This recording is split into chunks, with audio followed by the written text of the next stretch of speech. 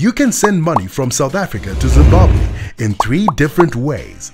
By simply downloading the EcoCash Remit app from the App Store or Play Store, by visiting an EcoCash Remit agent in your area, as well as through the EcoCash Remit website by logging on to www.cassavaecocash.co.za. Sending money home to your loved ones has never been this easy.